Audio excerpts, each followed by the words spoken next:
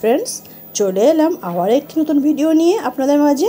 আমার চ্যানেলে সবাইকে ওয়েলকাম তো সবাই নিশ্চয়ই ভালো আছেন, ভালো থাকুন, সুস্থ থাকুন, এই কামনা করে শুরু করছি। দেখুন, আজকে কী রেসিপি নিয়ে চলে এসেছি। হ্যাঁ আজকে আমি বানিয়ে দেখাবো ভিন্ডি ভাজা। ভিন্ডি ভাজা তো সবাই বানাতে পারে।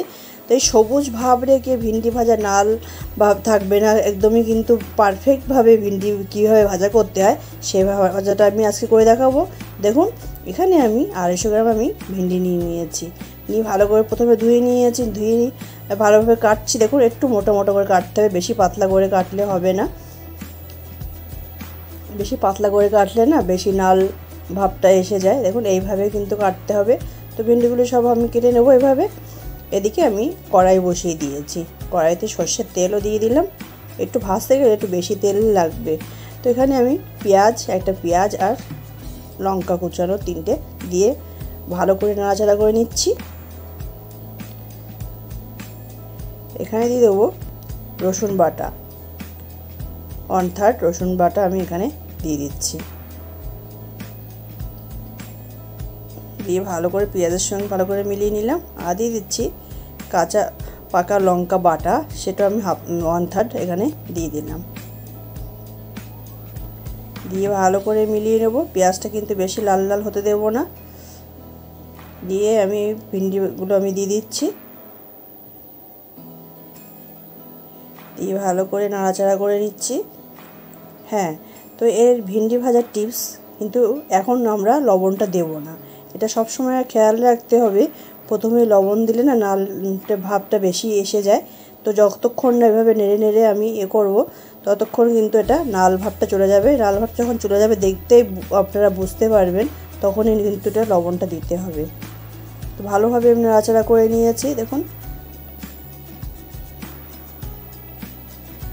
এখানে আমি দিয়ে দিচ্ছি হলুদ পাউডার। ওয়ান থার্ড হলুদ পাউডার এখানে দিয়ে দিলাম।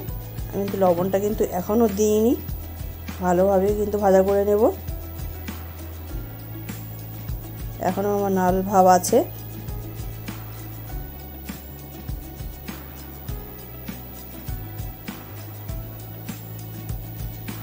এই গরমে কিন্তু ভিন্ডি ভাজা, ঘি দিয়ে কিন্তু আমরা ভালোই খেতে পারি ডালের সঙ্গে। তো এইভাবে সবুজ ভাব রেখে ভেন্ডি ভাজা কিন্তু অনেকেই করতে পারে না। তো আমার কিন্তু নাল ভাবটা চলে গেছে। এখন আমি দিয়ে দিচ্ছি ছোটো চামচে এক চামচ লবণ, কারণ ভেন্ডি হিসাবে আমি দিলাম। কম বেশি করা যেতে পারে, বেশি হলে আপনারা টেস্ট করে দিতে পারেন।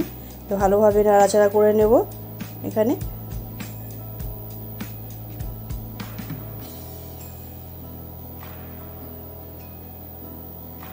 তো আমার কিন্তু সবুজ ভাবটা কিন্তু আমি রেখে দেব, দেখুন সবুজ ভাব কিন্তু আছে।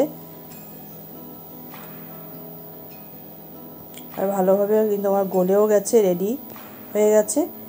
তো দেখুন, সবুজ ভাব রেখে ভিন্ডি ভাজা কীভাবে তৈরি করলাম, একবার অবশ্যই ঘরে ট্রাই করবেন, বন্ধুদের সাথে শেয়ার করবেন। যে বন্ধু আমাকে সাবস্ক্রাইব করে পাশে আছেন, অসংখ্য ধন্যবাদ। যে আমার নতুন বন্ধু আমাকে সাবস্ক্রাইব এক করে থাকি, যদি ভালো লেগে থাকে সাবস্ক্রাইব করে দেওয়ার অনুরোধ রইল। বেল আইকনটি দেবেন, তাহলে কিন্তু আপনাদের কাছে নোটিফিকেশান প্রথমেই এসে যাবে। তো আমি এখানে শেষ করব পরে ভিডিও আবার নিয়ে চলে আসব। ভালো লাগলে অবশ্যই লাইক কমেন্ট করে জানাবেন। বাই